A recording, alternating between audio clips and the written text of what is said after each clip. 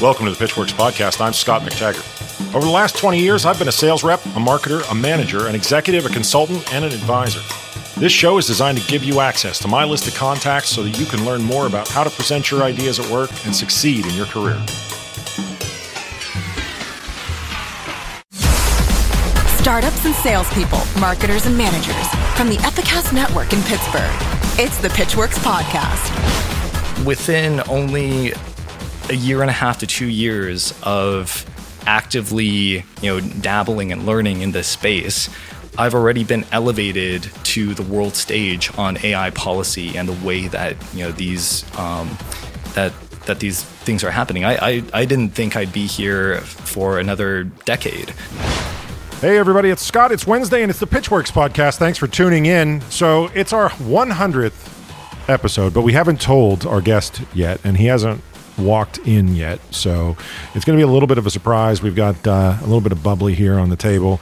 Uh, thanks for tuning in with us a hundred times over the last couple years. Uh, hopefully the content is uh, you know still good enough that you want to subscribe to this fine program and then rate and review. I gotcha. Um, please do those things if you haven't already. I would appreciate it tremendously. This week we've got Kenny Chen. You remember Kenny from, uh, I don't know, r- roughly about uh, 50, 60 episodes ago. Uh, it's Thrival time once again. Thrival's a big festival that uh, I'm a big fan of because of the just – very useful purpose it serves to society at large. It's a really great way to crash ideas into each other and, and just figure out what sticks and figure out, you know, what we should be thinking about going forward. Uh, let's talk to Kenny. Let's surprise him with, uh, well, there won't be balloons falling from the ceiling, but let's surprise him anyway.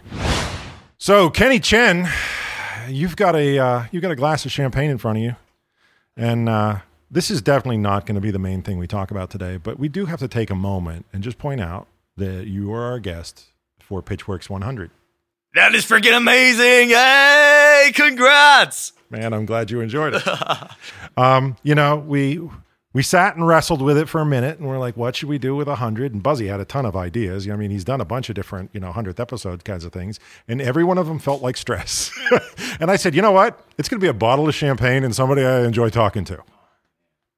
And here we are. So I did have to work you a little bit to get you in here at the timeline that I wanted you in to make sure it turned out okay. I was like, yeah, you better get in here quick. Uh, but now you know what the subterfuge was all about. That's fantastic. I love you, Scott McTaggart. Yeah, well, for real, I do. Yeah. I do enjoy talking to you, and I do think you represent, you know, some of the best things about the scene. Um, you know, it's um, it's nice talking to you, and you know, you're you're always leaving money on the table. You're always making sure that other people are getting taken care of.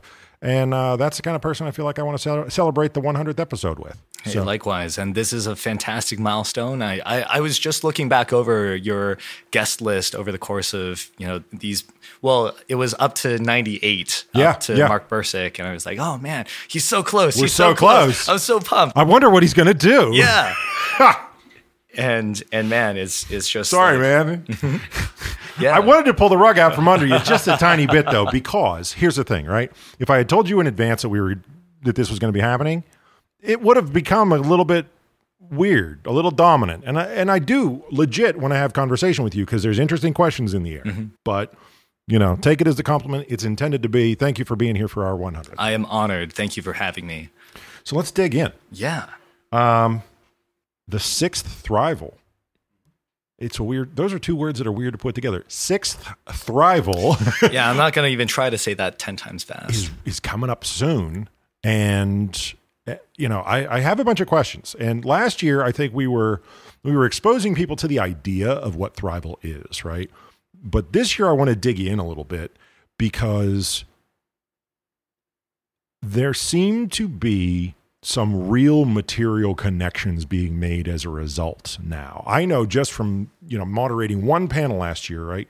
I made I made some really interesting dots connect that never connected before.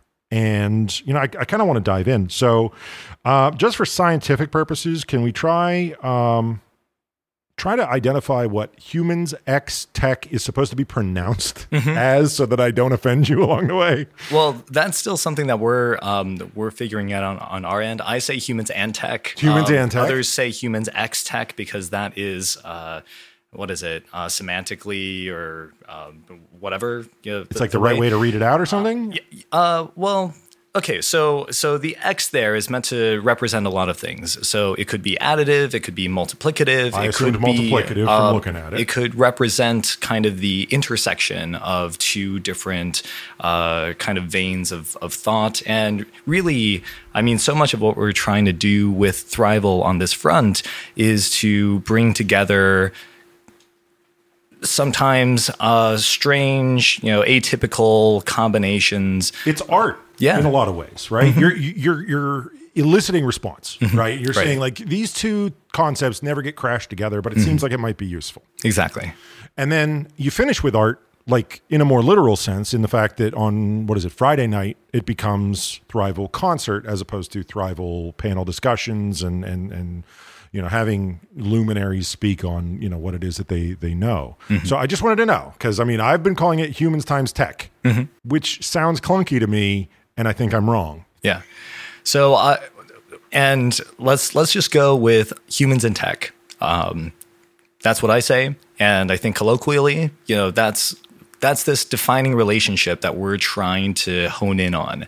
And you know, what we believe is that we're, I mean, humans and technology have already been in this dance over the past however many millennia but now it's really hit this kind of critical point where we're asking ourselves are we going to be replaced by our own creations Right. is this or are we going to become inextricable from them? Exactly. I mean, you were just meeting with, um, you know, you had Ryan O'Shea not too long ago Excellent talking example. about. Who I was going to bring up. Yeah. Yeah. And so this question of like, what even makes us human when there's already so many things that we've implanted in our bodies, we're inextricably linked to our smartphones. Um, in many ways, we have. Uh, millions of cyborgs essentially among us Right. with far uh, augmented cognitive and sometimes physical cap- capabilities beyond what anyone 100 or even 30 years ago might have ever imagined. And the 30 is the one that makes me smile, Mm-hmm. right? You know, I mean, it's it's amazing the speed with which we are learning to adapt.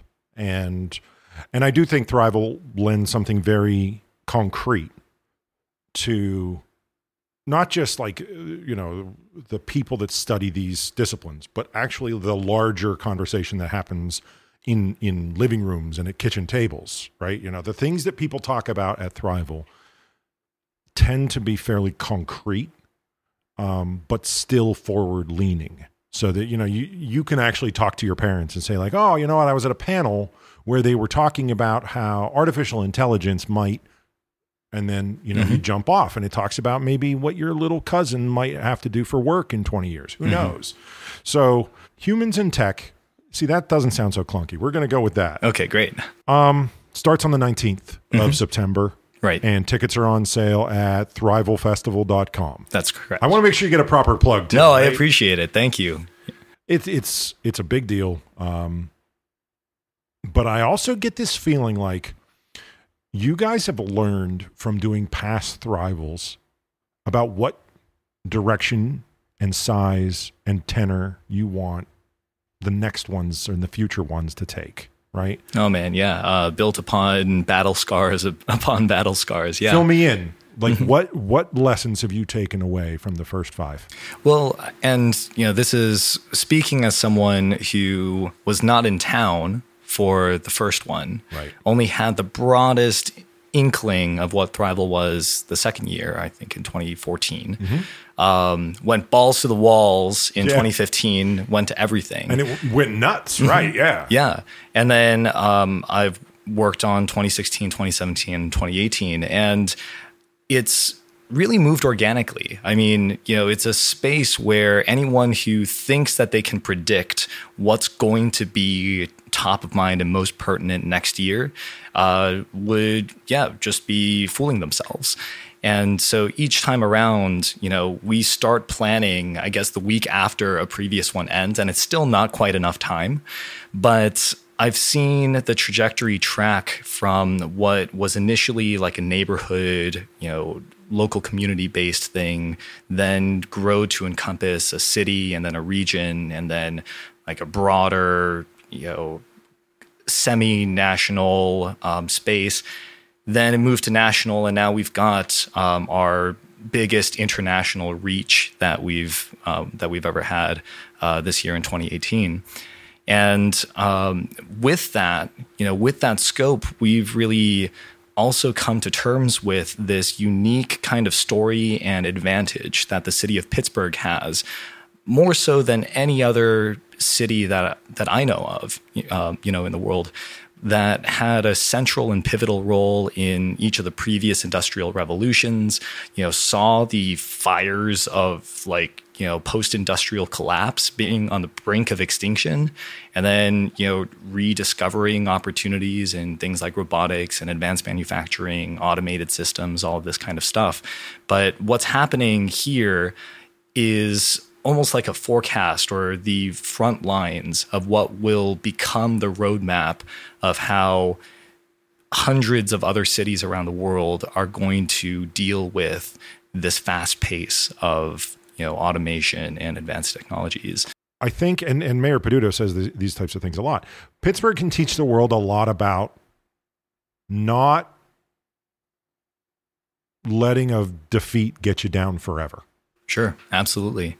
Um, yeah, and I mean, you know, you you look at the peak of things where uh, Pittsburgh was producing more steel out of this one city than the entire Axis powers combined during World War II. Is that true? Yeah, that's insane. Um, and you know, it, it played such a pivotal role in the shaping of all these different elements of like not just the global economy, but and and technology, but like the geopolitical infrastructure of the world as we know it. And the resilience story mm-hmm. now educates us as we talk about well, does AI mean I'm going to lose my job?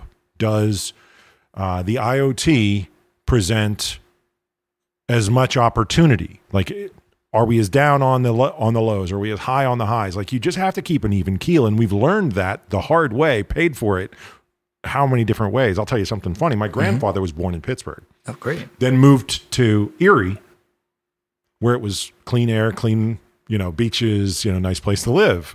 And when my dad said, I'm moving my family down to Pittsburgh, my grandfather went, What in the hell would you want to do that for? Because he's got this picture in his head of what Pittsburgh was. Mm-hmm. And it obviously isn't anything like what it is now. So, um, one of the interesting things about your involvement with Thrival is the fact that you've got your fingers in a lot of pies, right? For example, the um, the X Prize, you mm-hmm. play a role as an ambassador for the X Prize. Uh, you know, obviously everything that you do over at Ascender, which mm-hmm. is helping people launch and grow and, and those kinds of things. So one of the things I want to talk to you about is uh, as I pour more of that 100th episode champagne into this uh, this little glass over here, which let's be 100% honest, these are whiskey tasting glasses because it's me.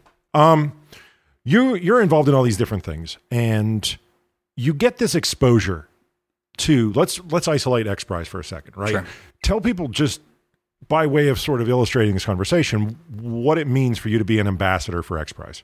Sure, and and so you know as background, X Prize being a global nonprofit that's been around for the last 23, 24 years, uh, leveraging kind of multi million dollar incentive competitions around what they call moonshots. It's breakthrough technologies that uh, have a tremendous uh, social impact everything from ocean spill cleanups to starting the commercial space industry like in the mid 90s right. to early 2000s and within the last few years, they've really um, built out more of a robust global community um, that's centered around maybe about a dozen ambassadors or so, um, split between you know Germany, Japan. That's a really Australia. small number.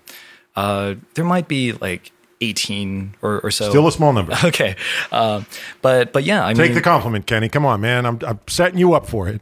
Um, You've got the same problem I have. You can't take a compliment. the ambassadors are essentially people who care enough about facilitating that kind of global connectivity and take a resourceful approach to finding opportunities to form partnerships, to inspire people to um, to like throw their hat into the ring um, and and make the next like moonshot breakthrough uh, thing. And so, really, a lot of my role that's organically come about only over the past year and a half, like yeah, only over the past two year and a half that I've been involved with X Prize.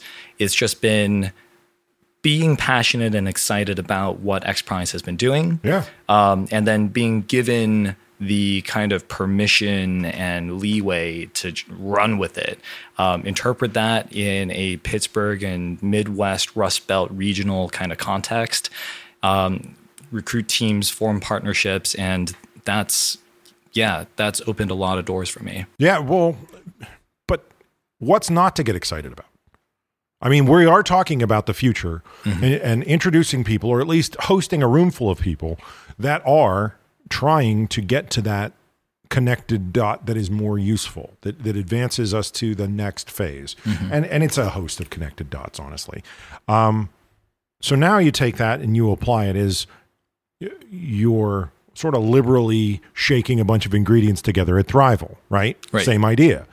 Um, I have to believe that there are stories rattling around inside your brain where people met at Thrival. Maybe they were on a panel together, or maybe someone was really into a subject and they raised their hand and came up and talked to the speaker after the fact, where something cool came together because of this Thrival project, which again, seven years ago didn't exist.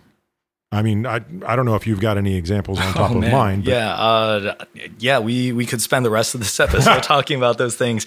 I mean, even just talking about my connections that I made in 2015 and 2016 alone. Uh, you know, meeting some of my best friends. Uh, I met Ryan Gaiman yeah, um, yeah. in 2015 at the. Uh, um, the the theater in the South Side, uh, because I asked a question and he found me afterwards, and we ended up being uh, co-conspirators for the next two and a half years. Ryan hasn't been on the show, so if you could introduce people to his idea real quick. Oh, absolutely. I mean, he was running Citizen City as an impact um, consultancy organization, doing a lot of great things, and now he works for Ro- Roadbotics um, Which is tremendous. Yeah, I'm going to get him in here. One eventually. of the fastest growing startups that's based out of Ascender and um, is essentially taking dashboard mounted any kind of camera turning it towards the street and then utilizing computer vision essentially AI to analyze street conditions and preemptively like deal with potholes and fix it like, before it needs to be filled. Exactly, because it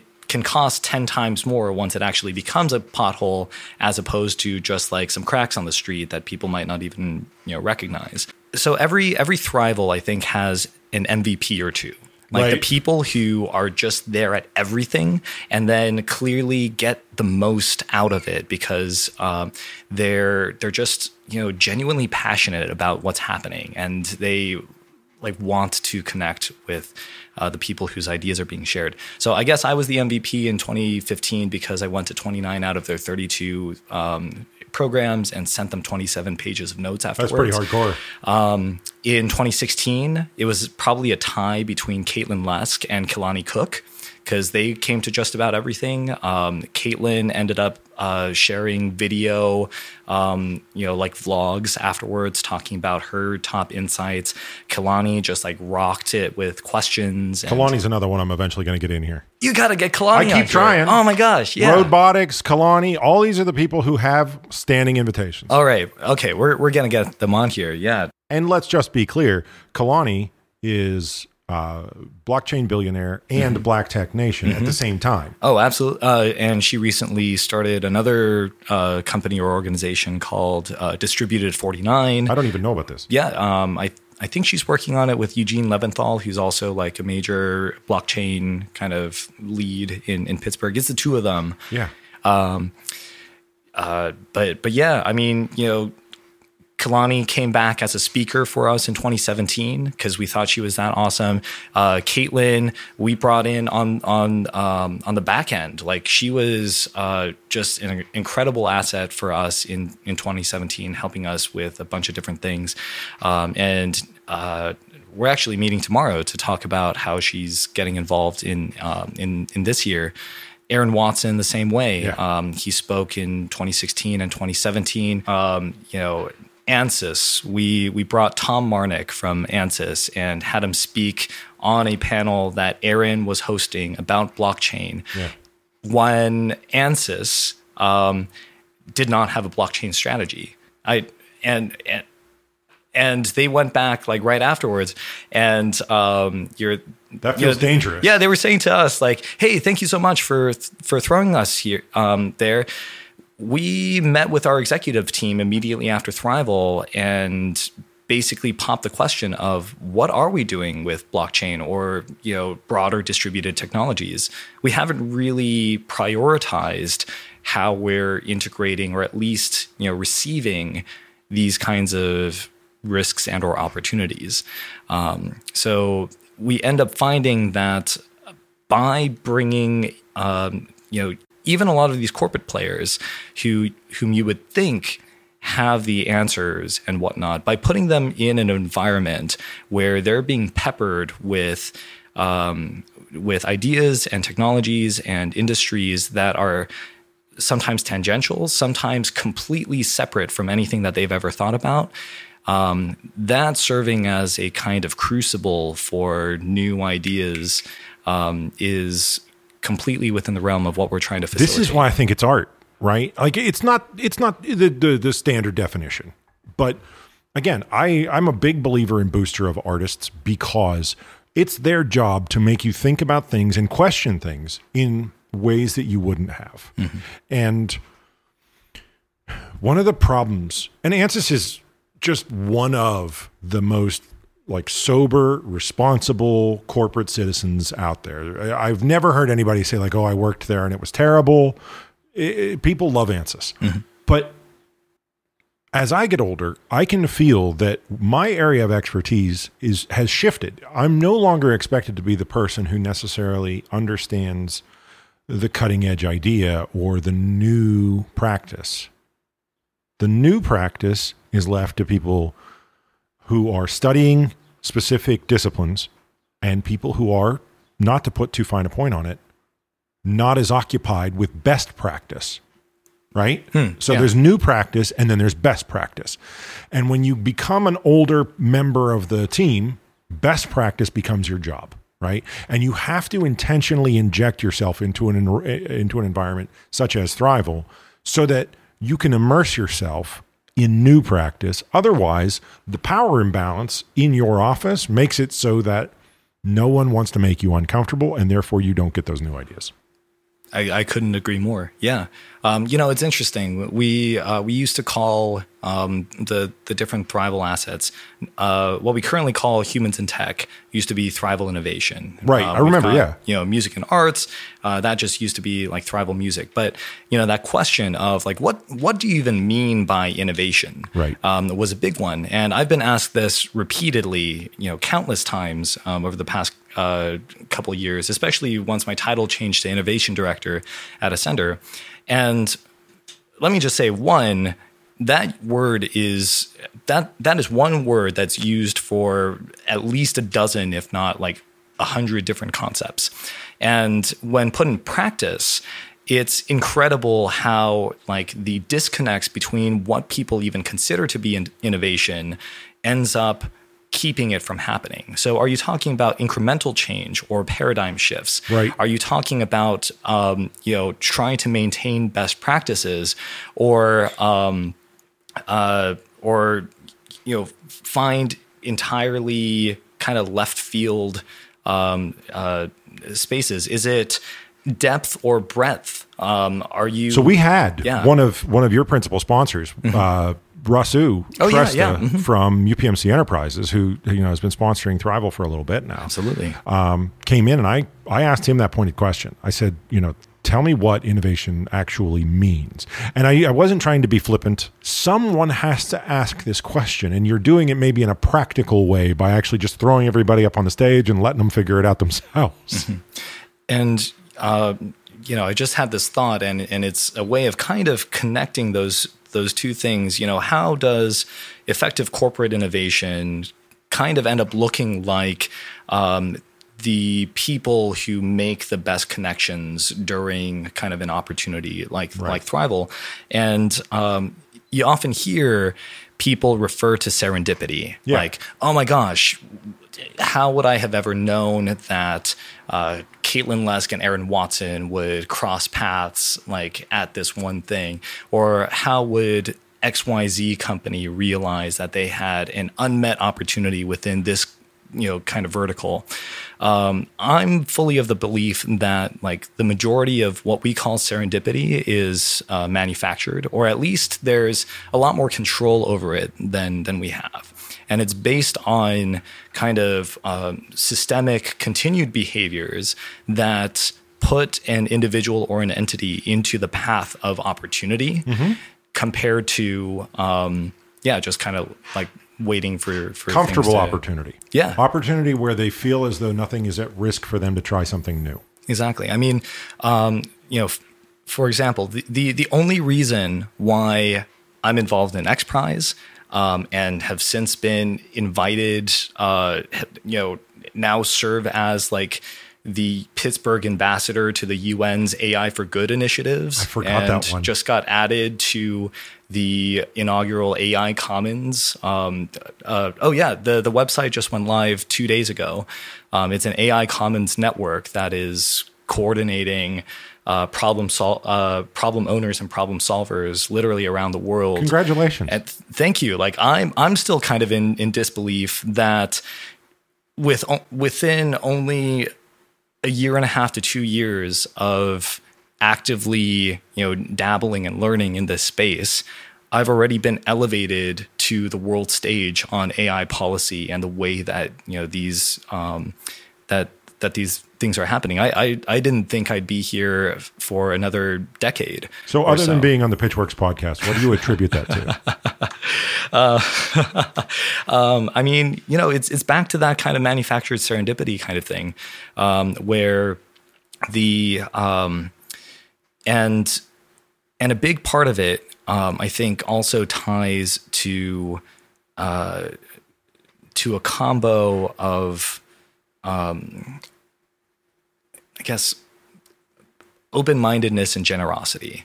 Um, so you know, it- I think everybody expected you to say the first one, but maybe not the second. yeah. So I and I, I think you know I really want to emphasize the second, where um, uh, generosity and the power of giving first, and um, you know the the power of uh, empathy for for other people. I mean, really, so much of what you do on this on this podcast, um, you know, for for Pitchwerks is like Scott, you put yourself in the shoes of the p- person that's sitting across the table from you, and you think of their business as if it was their own, and you just give and give in terms of advice, you know, thoughts around improvement, best practices, and of course the podcast itself as a means to uh, propagate that message and give them more opportunities from which serendipity might emerge.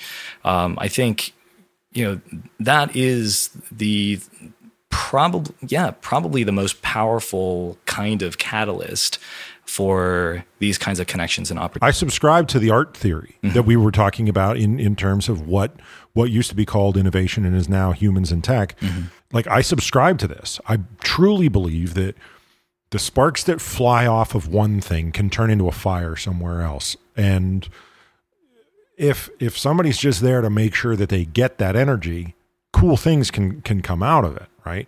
And, and I honestly, you know, one of the things that I'm kind of driving toward here is I think there's a lot of people that would benefit from attending the innovation sessions, the the humans in tech sessions.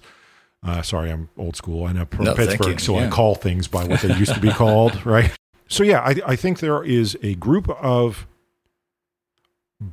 growing companies and also a group of mature in at risk of fossilizing companies that need that full immersion and honestly like all of this was kind of by way of saying how do we put the right words into those people's mouths so that they come out and actually expose themselves to why don't we have a blockchain strategy like ansys did a couple years back which you know how hard it is for a company to admit that this is something they should have been looking at but didn't.